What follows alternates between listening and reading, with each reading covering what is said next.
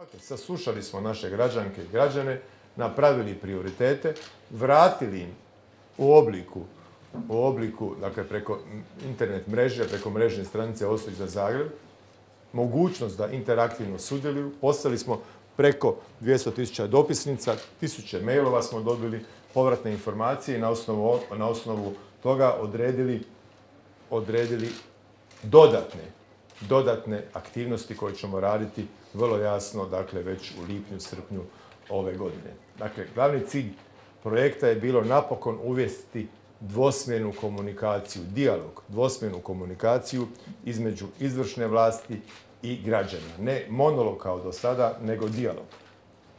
Kad pogledate sve ovo, možemo reći da naše građane, da su prepoznali ovaj naš projekt, da su nam vrlo, vrlo aktivno surađivali na njemu, da ih muči u principu iste ili slične stvari. Muči kvaliteta života, odnosno točnije ne kvaliteta života.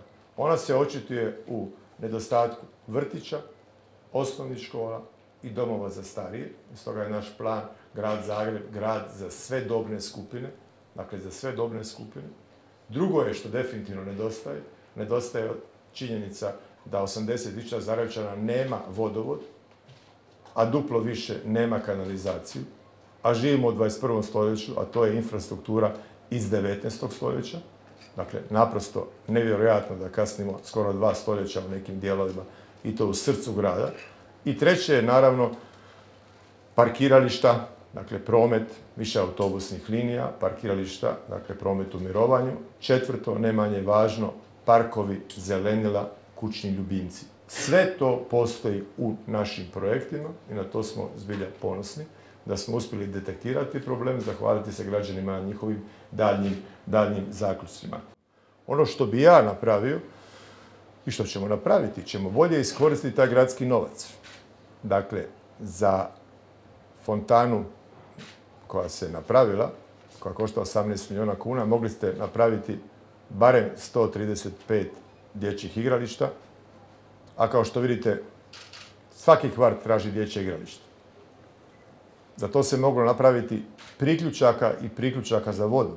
A vidjeli ste da 80.000 Zagrepčana nema vodovod. Prema tome, ljudi ne traže puno. Ljudi naprosto traže osnovne, osnovne životne, egzistencijalne potrebe. A problem je uvijek ljudi koji rade sebi spomenike. Dakle, spomenici u smislu fontane ili ukrasne rasvjete ili sličnih stvari se ne rade za vrijeme mandata, da pače spomenici se ne rade ni nakon mandata. Dozvolite da vam spomenike neko napravi za 50 ili 100 godina ako ste nešto, nekoga ili nešto zadužili.